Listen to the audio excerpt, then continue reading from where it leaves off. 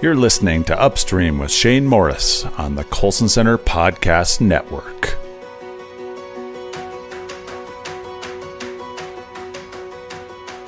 Welcome to Upstream. I'm Shane Morris.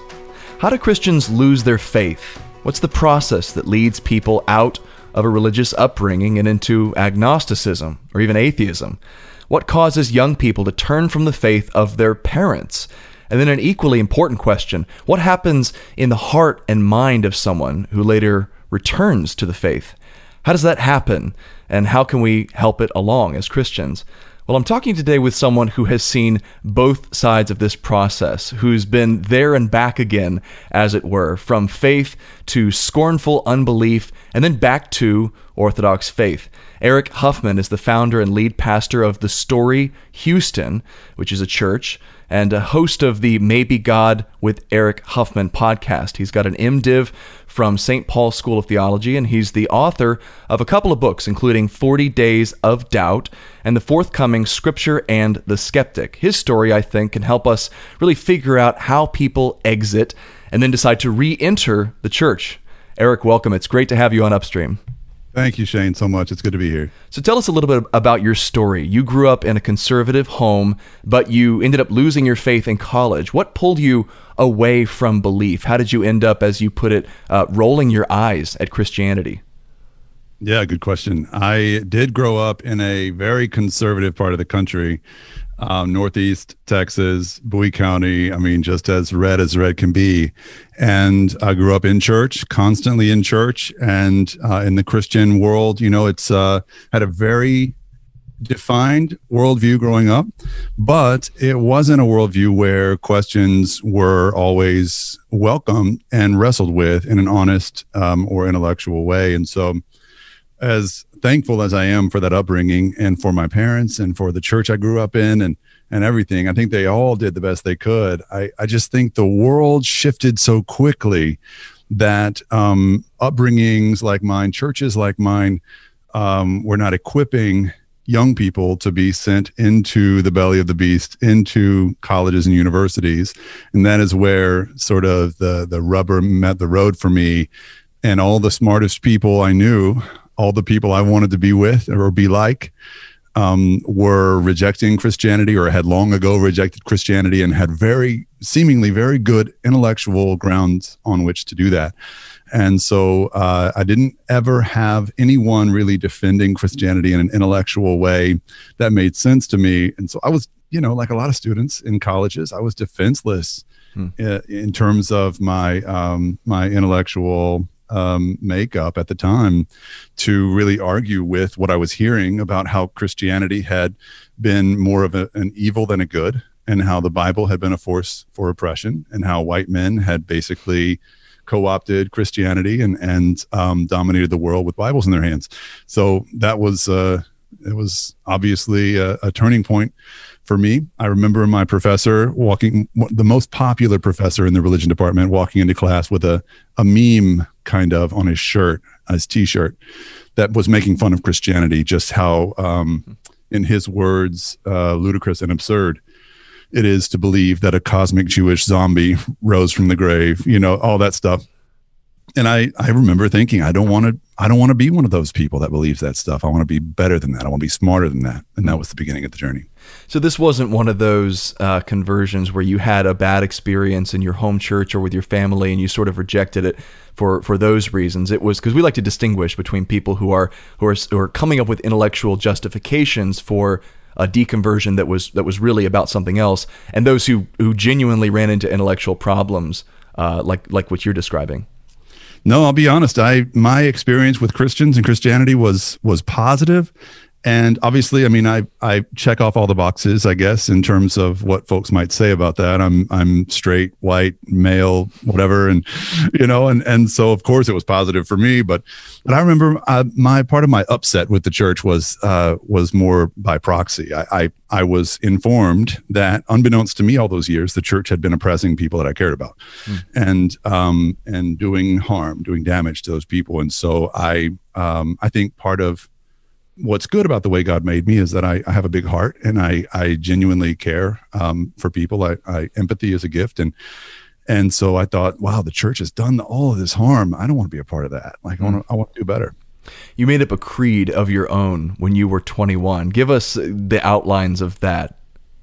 Yeah, well, the first part of that I think was um, whenever I was in a religious setting in, those days, and we would do the Apostles' Creed uh, as we often do in Methodist churches, and I would pick and choose. I, I, would choose the lines that I still believed and and not say. And and you know, the longer time went on, the less of that creed that I said because I just started to believe less and less of it. But basically my my personal creed became one of I, what you would call now social justice wokeism kind of. I mm. and i don't mean that pejoratively. I, I mean that's uh, that that was my highest ideal at the time was making the world a more just place for oppressed people. And i thought that's what god was trying to say in the bible all along.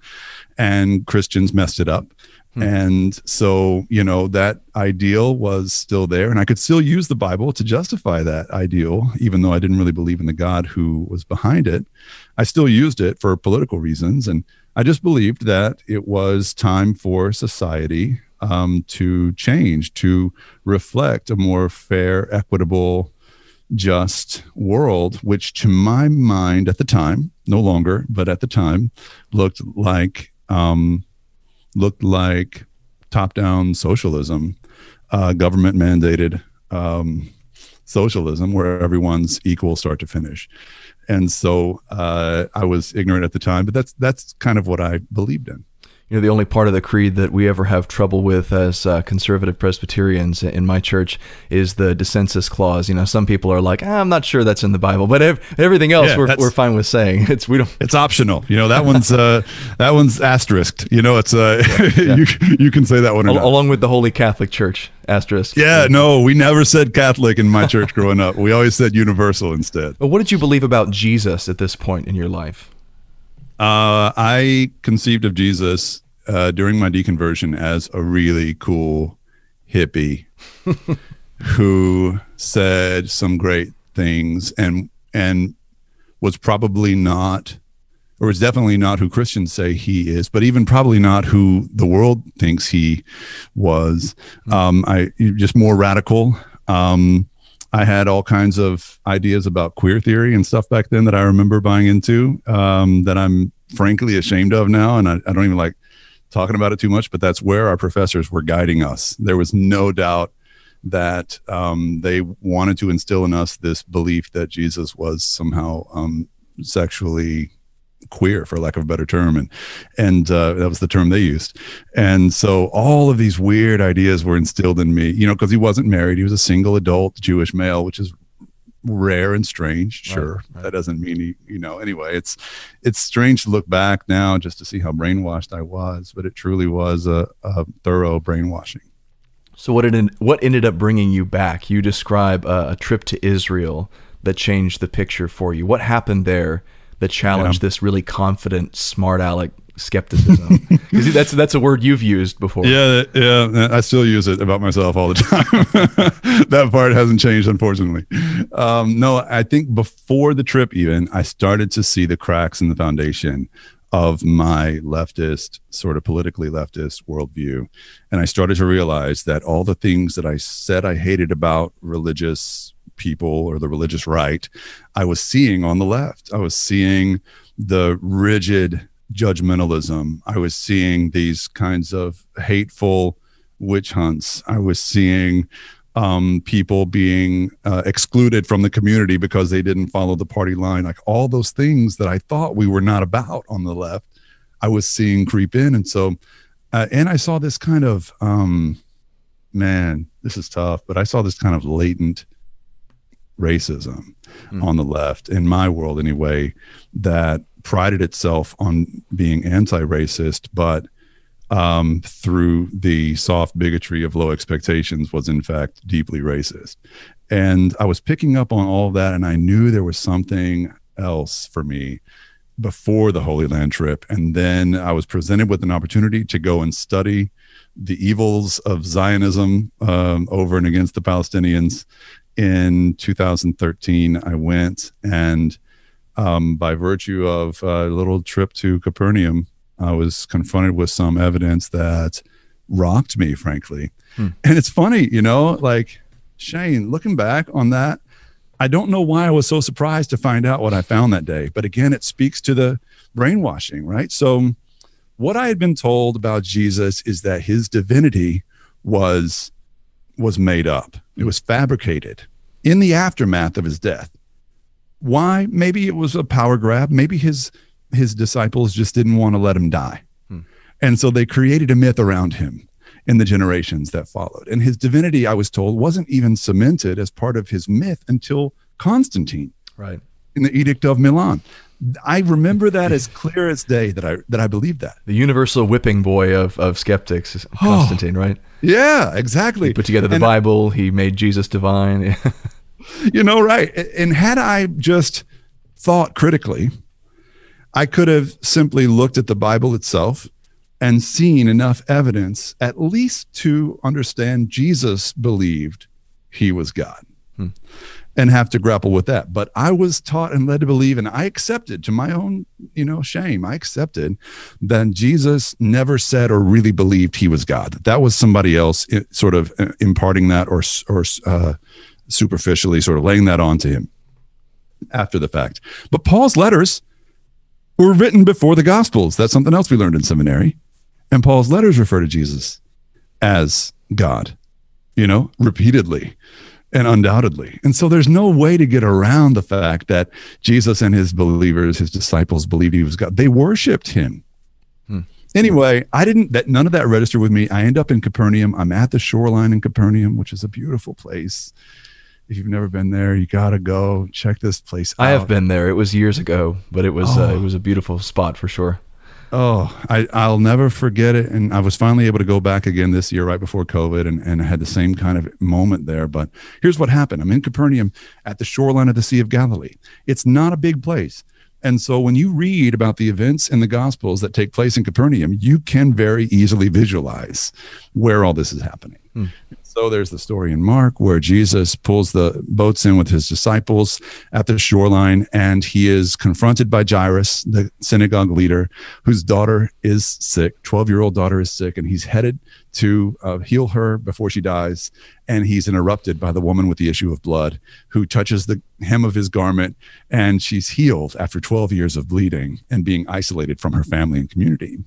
And then he turns and in a moment where everyone would expect a, a notable rabbi like Jesus to be furious with her because she's made him unclean on his way to heal a very important guy's daughter, which he can ceremonially no longer do now because he's unclean.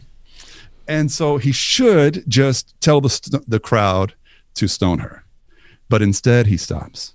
And the story says he looked at her and she told him the whole truth. Which, so what's happening is my tour guide is telling me this story as I'm standing in the spot where this must have happened. Because I'm on the shoreline, the synagogue where Jairus worked and probably lived near was right 30, 30 yards away. Hmm. And then, you know, the house, the house church that that that that uh, spaceship looking church is built on top of right. is right just to my right. It's all right there. So I'm, my heart is just moved by the story because she tells him the whole truth. I don't even know how long that takes. Like, how long a conversation is that? Or did Jesus just know it? Or I don't know. But, and then it says, Jesus called her his daughter, which is the only time he ever did that. He never called anyone else daughter. He called her daughter as a way of not just healing her body, but re, um, re uh, redeeming her and restoring her to community again after 12 years. Hmm. So after my heart is just torn up by that story, standing in the spot where that happened, our tour guide, who's now a really good friend of mine, he's an archaeology enthusiast, Bert Gary, he took us to the house church and he said there are these inscriptions on the walls of this house church where Christians were worshiping in the early church. And this is probably the first house church we we have and we know about and on the walls of these of this house church are etchings that say, Lord Jesus Christ, God Jesus Christ, have mercy, Jesus Christ, things like that. And I'm like, yeah, big deal. Like, um, we all know that his believers, his disciples believed him to be Jesus, him to be God, but that doesn't change anything. But then he said, and these some of these have been dated to as early as the first half of the first century. And at that point, my heart was primed Right. and ready, and I'm, re- I'm I'm realizing I'm putting it together. Wait, the people who knew him personally, people who lived with him and and walked and worked and and uh, and did ministry with him, they the people that knew him best, they believed he was something more than just a man. They believed he was God, and then many of them went on to die for that belief. And so, at that point, there's no longer any possibility that it's about Constantine 300 years down the road. This was happening in real time. And these devout Jewish people whose Old Testament or Hebrew Bible says, worship no other gods before me, have no image before me, are worshiping a man as God. Is uh, does that mean? uh, yeah, I think it's J. Gresham Machen who points out. A, a bunch of people do it, but he points out in uh, Christianity and liberalism that the historical Jesus that liberals are looking for uh, gets the, the time frame in which he could exist, the non-divine Jesus, uh, becomes vanishingly smaller and smaller as you go back and look at the evidence. You've got a divine, a conception of a divine Jesus uh, in the earliest extant evidence from the New Testament period um, that lo- that that basically almost touches his life. And so you have to ask yourselves, well, how quickly did they cook up this whole divine Jesus thing, and ha- what was the motivation for it? and get everybody on the same page. And Right. yeah, if you're going to cook up a myth, cook up one that doesn't get you killed. Cook up one that doesn't get you, you know, excluded from your families. And you know, this this guy was their god, and that meant that life could never be the same, and they would end up stoned and on crosses and stuff like that. So it just clicked for me, and I I had this moment that I couldn't believe at the time that it was happening. I just was overcome. I couldn't breathe. I was on the shore of Sea of Galilee. I was one foot in the water, and I'm just like texting my wife, and it's in the middle of the night back home. I'm Oh, wow. texting my wife, "My God, it's all true. It's real. My God," and, and she's getting this message, not knowing what's going on. and so, but I She's think thinking you just encountered a, a UFO or something. yeah, right. Yeah, who knows? And but she had been praying for years for that to happen. Oh, that's And cool. It was. Uh, it still took me a, a a year or two to work through some of the the kinks and and uh, figure out some of the details. I'm still in that process. It was just seven years ago. Um, but so much changed all at once in that day. It was one of those John Wesley heart strangely warmed kind of moments. So how was that received when you came back home a different man? What what was the reaction when your skept when your smart aleck skepticism had melted away and been replaced by this dumbstruck, uh, you know, newfound belief? Yeah. So from age 20 to 33, I had built my identity around that persona. So I was the cantankerous, rebellious, social justice warrior, protester, activist.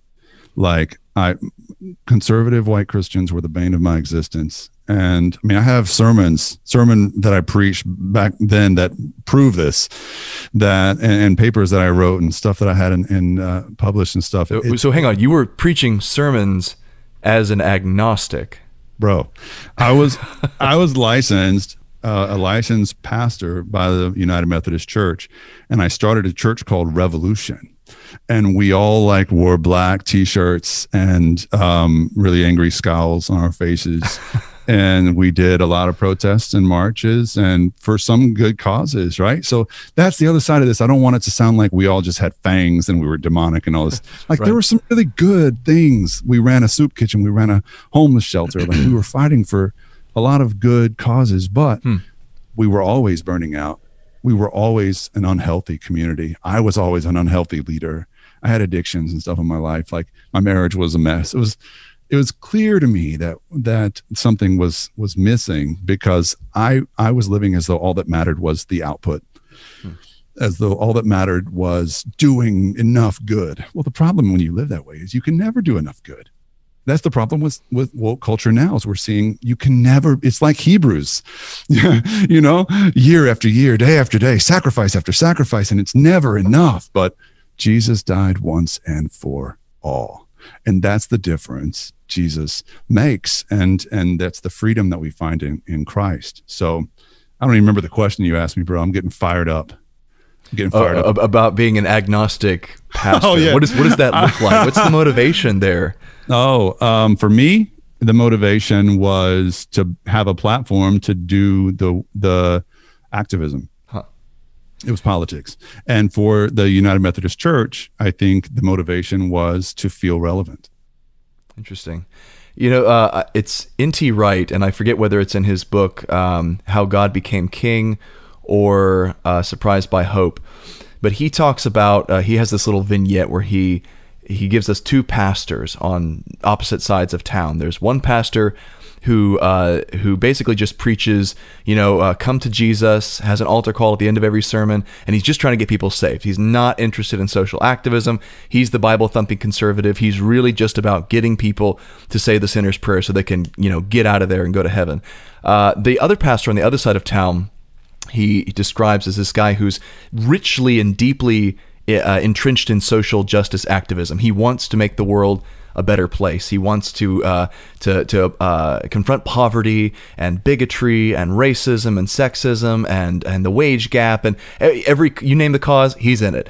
Um, but when it comes to preaching about the actual supernatural basis of Christianity, he's he's got nothing to say because he really doesn't even believe it. So he's got all the activism, all the all the you know um, the the things that he thinks would work out from Christianity, and yet he's got none of the the, the uh, theological foundation. And Wright says that he thinks that the fundamentalist preacher is actually closer to the truth than the other guy because he's got the facts, but he's he's also failing in that he's not working out the uh, fruits of that of those supernatural theological beliefs. And so he says yeah. what we should do is combine both approaches. Not that we should become social justice warriors, but that we should become deeply conscientious about, uh, as Christians, about the world around us and about the commands that Christ gave us to engage and care for that world. That's right. No, I agree with everything you just said, and I think the the problem with being Pastor B on the other side of town, the uh, the social justice pastor, is yeah. you can't help um, you can't really stop the the growth of bitterness in your in your soul um, because there's no place to take it. There's no place to take your angst other than just you know social media and be angry at christians or something. And, and it just eats you alive. Now the other guy who's preaching the gospel and doing an altar call like if you're doing that genuinely then what we believe is that the work of the spirit takes over and bears the fruit through us. And so um, we should be about works uh, of justice and, and things like that. Uh, very much, I, am more about that stuff now than ever, but I'm not doing it to prove something.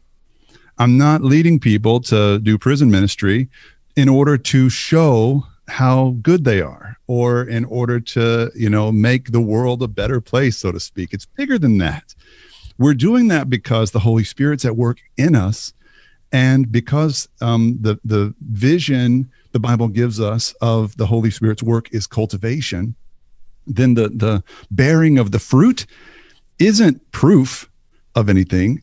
It's a fulfillment of our created purpose. Mm. So to bear the fruit of the Spirit is to essentially be who we were always meant to be, to, to be who we were created to be. Uh, and it's the work of the Spirit and not our own goodness that does it. Eric, if you could go back to, uh, I'm trying to think of the time frame here, it'd be like about 2012, 2011, 2012, and talk to your younger self, what would you say to that man in the midst of his doubt? Hmm. Because I think we draw, we could draw a lesson from this on how to engage people today who are in the same place you were then. Yeah. Yeah, that's good. Nobody's ever asked me that, but it it really hit me hard when you uh, punched like punched me in the chest when you when you asked me. Um, I would first of all, I, I, think all of what I'm about to say is couched in some kind of uh, hypothetical relationship that I have with younger me. so the problem with you know talking sense into people sometimes is if there's not rapport, you won't get anywhere. Yeah. But um, if I had a loving connection and, and mutual respect with with me, I, uh, I some I Back would, to the Future stuff here. yeah, I would say, um, you know, have you have you have you thought through your reasons for doubting? Have you, as you doubted your certainty, have you doubted your doubts? And um, have you have you really given the Bible as close a look as as you think? But even more than that, I think taking it out of the theoretical realm, man, it was so evident that my life was in shambles. and that I was, you know, I was messed up in porn and I was an angry guy and depressed. I was, I mean, part of my conversion involved actually seeking help with depression. And I, I mean, I've, I'm in a great place with that. But it, it was, um, I, I think I would say, hey, let's get real and talk about how you're really doing. And I think that personal concern would have given way to the more theoretical conversation. I, and I, I, think without that, I don't think I ever would have gotten there um, to the theoretical stuff where it's so evident that my arguments were wrongheaded.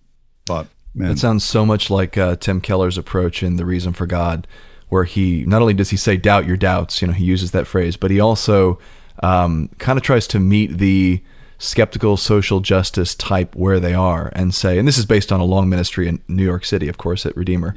Um, but he, you know, he says, I understand that you have all these concerns about the world, uh, that you want to bring about justice, and that you have all these ideas about Christianity. But let me let me get to the root of why you think those things, and yeah. and, and I want you to start asking yourself, what is it that you're really after, and why do you have this sense of justice about the world? Do you have a a framework in which that makes sense, or is you know he, he has those sort of personal conversations. So that's right. No, it's and you know uh, the reason for God was the first book I read when I came back from the Holy Land. Hmm. I had never heard of Tim Keller. Good choice. Good choice. And I it, it, was given to me. I you know I'd never um, even in seminary I we never talked about anything apologetics based we talked about a lot of like feminist theory and, and womanist theory. Seriously, man, it's like my seminary experience was liberation theology 101 and very little about apologetics, little about the Bible and stuff like that. So um, it was easy to be an agnostic in that setting.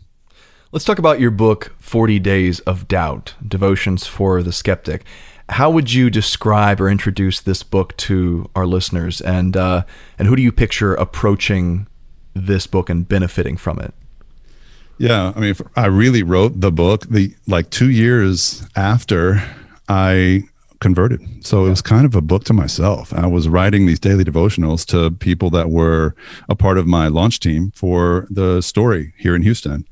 And so uh, 2015, 2016, I just started taking one question at a time, a question that had stuck with me or, or that had me stuck during that part of my life, and addressing it from a, a biblical theological perspective. So I addressed 40 different questions, um, starting with questions about creation, uh, questions about Jesus uh, compared to other um, myths and legends, other kinds of comparative religion conversations, uh, questions about the Bible, questions about sexuality and ethics, um, questions about uh, the human condition, suffering, stuff like that. So 40 different questions. They're daily devotionals.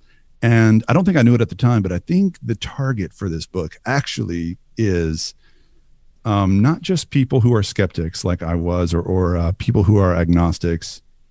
It's actually most helpful for people who have friends who are. So I think the most positive feedback and response I've gotten for 40 Days of Doubt is actually from people who needed um, something to uh, to resource their conversations with their friends and family members who were deep in doubt and um, struggling to believe.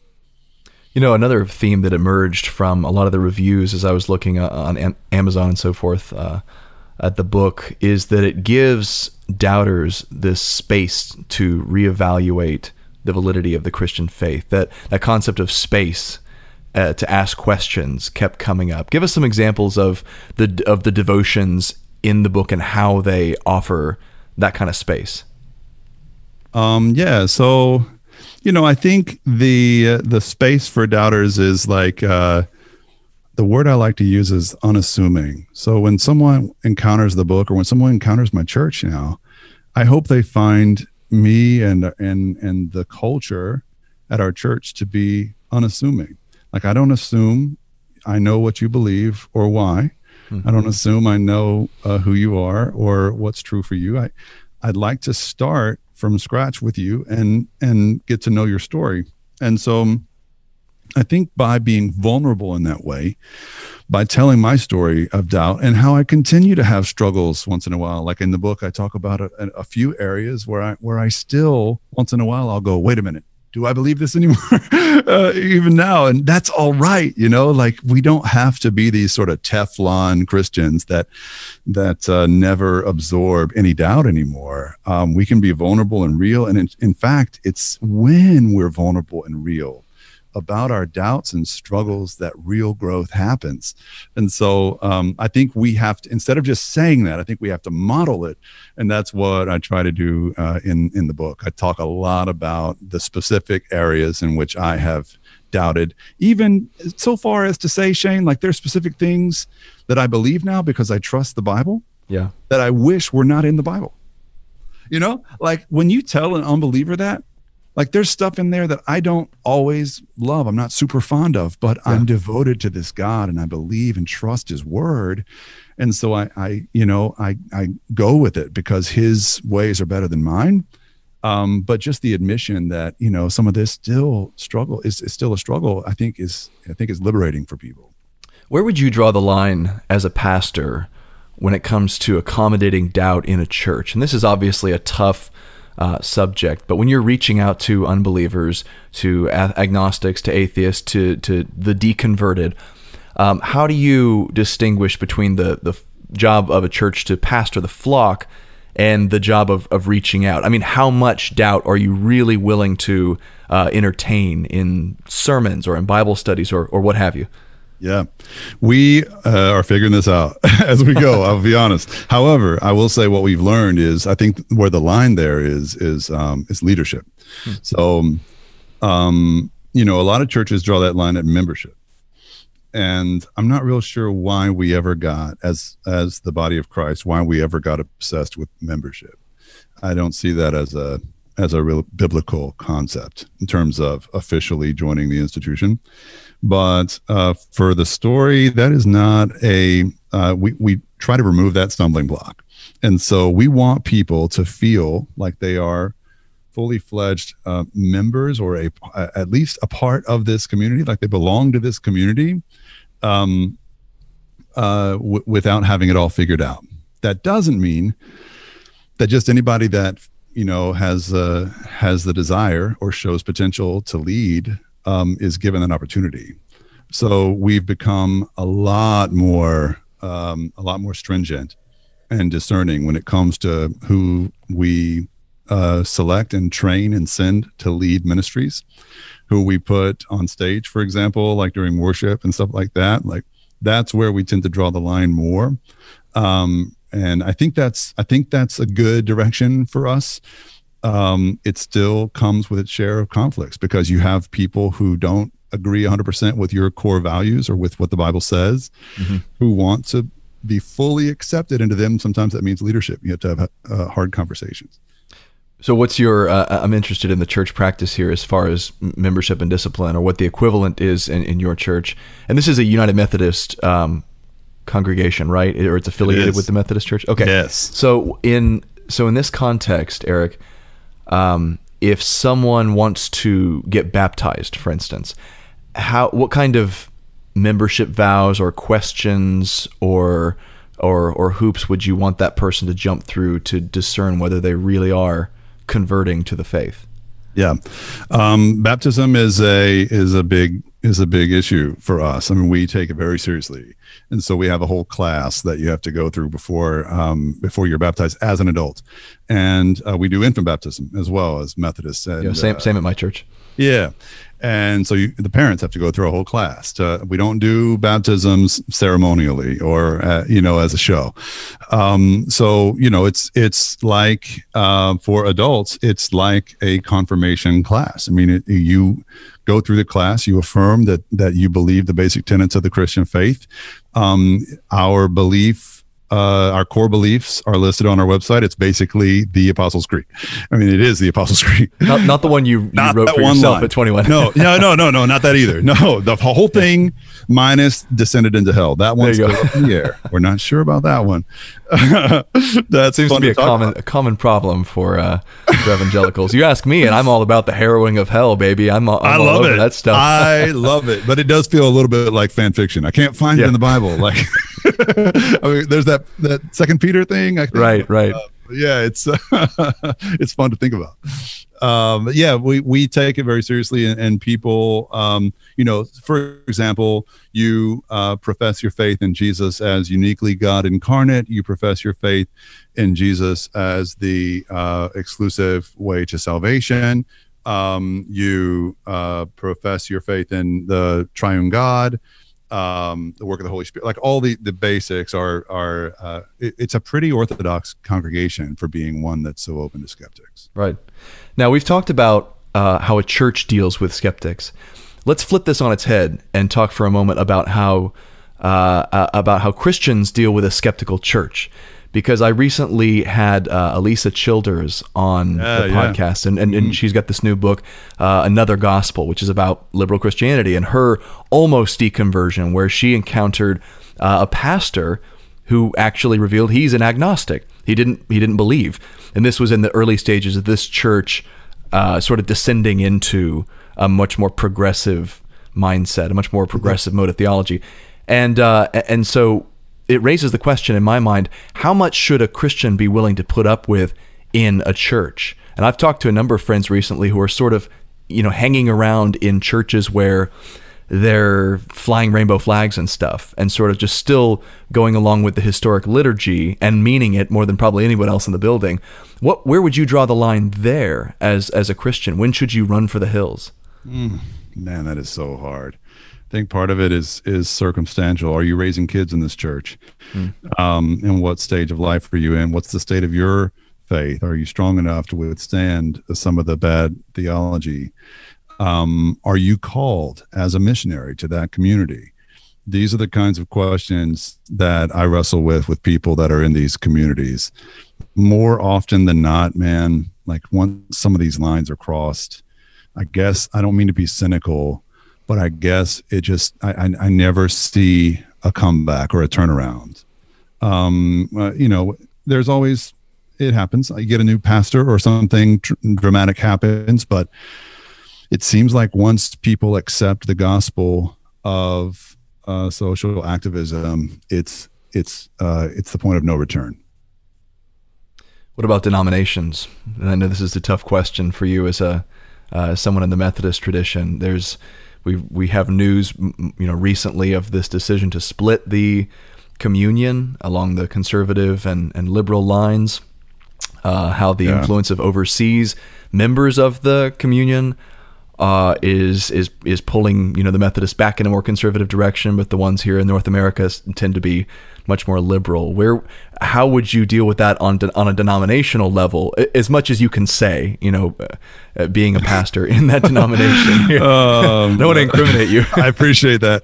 No, I have already. I'm a charter uh, signatory on the new Methodist. It's called the Global Methodist denomination, okay. Global Methodist Church, that is uh, going to be a more orthodox expression of Methodism. So that cat's out of the bag. Um, I think that I think the sad reality, but it's it's also I think a blessing in disguise. I think these big steeple denominations are in the last throes of the life cycle. I think mm-hmm. God's doing something new and different. And um, the the advantage to sticking around in denominations is there will be opportunities if you're called to do this. There will be opportunities to take resources that denominations have and, and to um, invest them whether it's buildings, people, money, whatever, invest them in this new thing God is doing. And that's happening like Methodist churches. There, there are some real success stories of church plants and things like that that are doing next generation kind of stuff. Uh, the sad reality for pastors is uh, you start to feel locked into a system that's just in a tailspin and that is not life giving. In fact, it's uh, it takes from you and uh, it, there's a suddenly a spirit of scarcity and a spirit of uh, paranoia and fear, and mm-hmm. and none of that is conducive to to spirit led ministry. So, you know, that's a hard one. It's a case by case basis. And the Methodist Church, you know, is a uh, I guess we have an opportunity here to see a new thing, be a part of a new thing, and so that's that's exciting. But I know not everybody's in that kind of situation. Well, you know, Eric, that fear-based mindset that you mentioned a moment ago that sets in, I think it's very, uh, it, it's it's a vulnerability that conservative, you know, offshoot denominations like mine, the PCA, need to guard carefully against because your story to me is proof that there are plenty of people in these old mainline denominations that have gone liberal that that may still be completely open to turning around and re-embracing a much more orthodox and traditional expression of the faith. And and to give up on them is dereliction of a of a mission field. I mean we have to cultivate a mindset to where we recognize the theological drift but we also look at the people in those denominations as every bit uh, as much our mission field as you know the completely unchurched who may never have heard uh, the gospel before. Exactly. And my impression of conservative Christians was going back to my skeptical days was this sort of um, marriage, this unholy marriage of Christianity and politics. And my impression as a as a liberal skeptic was to be conservative and Christian meant to be a Republican. And you have to always be Republican and you have to always criticize Democrats and liberals or whatever. And so um, I think what I discovered when I became a Christian in 2013, I went to a conservative Christian conference and, and the breakout sessions were some of the most open minded and big hearted kinds of conversations that were happening. I had no idea that that was even happening. It was about like how to be warm and loving to to LGBTQ people at your conservative congregation. You know, hmm. it's like, whoa, right, right you guys talk about this? And I was really surprised. And what that said to me is there are real openings the Holy Spirit can work where we find this common ground that excites skeptics and catches them by surprise when they hear Christians talking about it. Skeptical liberal types, they need to hear Christians standing up for immigrants. For example, it's one example. Mm. Like, yeah. like biblically, no doubt about it, where we should be in terms of how we love immigrants and refugees, right? No matter how they get here like because we're Christians first and Americans second or third or fourth or fifth or sixth, whatever. Like the the mandate to love and protect and defend the sanctity of every human life, absolutely is there for Christians. But most liberal skeptics think conservative Christians hate immigrants. Why? Hmm. I don't know. Bad messaging, maybe uh, just a, a narrative that took off or something. But we can do a better job of showing them what, who we really who we really are. And i think in doing that we start opening doors kind of like we have here at the story. God's doing it all over the country. We're coming up on the end of our time here but i want to ask you about this new book that you have coming out next year. It's called scripture and the skeptic. What's mm-hmm. that about? And uh, and what are you trying to accomplish in that book that that that the previous book of devotions doesn't do yeah, it's a much uh, bigger work. So it's uh, it's twice the size of uh, Forty Days of Doubt. It is uh, fifty four thousand words, and and it's uh, it's really a, a treatise. I try to reclaim biblical inerrancy but in a creative way. Uh, this is not something that any Methodist that I know of, other than a, a select few, ever really uh, want to say that they believe in biblical inerrancy because there's cloudiness, murkiness about what that term means. Right. So I want to reclaim the the the idea that the Bible's perfect. It tells exactly the story God intended to tell, warts and all. Um, he intended to enter the the dirt and the muck of our creation and to get his hands dirty in the work of salva- uh, of saving us. And so uh, it's a uh, it's really deals with the whole Bible. There's there's two chapters on just the book of Leviticus, uh, where I'm talking about Leviticus being the greatest love story of all time, and uh, and really oh, excellent. Yeah, I hope it's a creative defense of of biblical inerrancy in in a way that uh, opens some eyes. Who, who do you think of as the ideal reader for this? Who's it aimed at? I think it's aimed at people, two groups. So it's aimed at um, curious skeptics who actually have a deep appreciation for the Bible um, as literature, history, um, moral teaching, whatever. So we need and, to send a copy to Jordan Peterson right away. Uh, yeah, he would be a great. Yeah, let, us get him on the back cover writing something for me. uh, no, I uh, there's that, and then I also think there's people who are in these big steeple denominations that have not been um, encouraged to receive the Bible in its totality. There is a push in Methodist churches right now to see the Bible as uh, you can take it or leave it, or take some of it and leave some of it. Hmm. There's the three buckets fallacy right now in the Methodist Church. That's big. I don't know if you've heard about this, but the whole idea is you have one bucket for the true word of God. You have one bucket for it was good at its time and now it's no longer authoritative. And you have a third bucket, which is the stuff that's just trash. It was never meant to be in the Bible at all. And you can just do away with that. And you get to decide. It's the canon within the canon, right? And oh. you get to be the decider. Yeah, yeah, you're the arbiter. It's great. All that power. Um, but I, I really want to push back against that um, because I think there's such value in the deepest, darkest, dirtiest parts of the Bible. Awesome. Well, where can my listeners find out more about your work and sort of uh, keep their eyes out for this book? Yeah. So there's the story.church. That's my website, the church's website. And then there's maybegodpod.com. That's my podcast, which uh, we don't put out as many episodes as you, man. Uh, you're prolific, but we're, we're trying. We put out a, a, really highly produced episode about once a month. And uh, we're about to release one right now with uh, an interview that I had with Randy Travis, the Country Music Hall of Famer, about his faith cool. journey. Yeah. So maybegodpod.com is a great place to find me there. Well, awesome.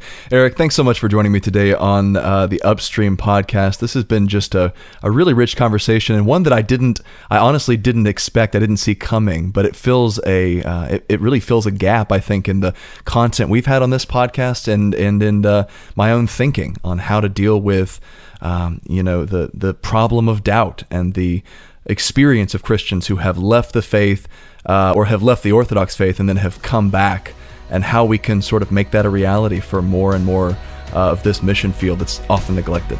Amen. Thank you for the opportunity, Shane. Thanks for listening to Upstream with Shane Morris. For resources and more commentary on Christianity and culture, visit colsoncenter.org. Upstream with Shane Morris is a production of the Colson Center Podcast Network.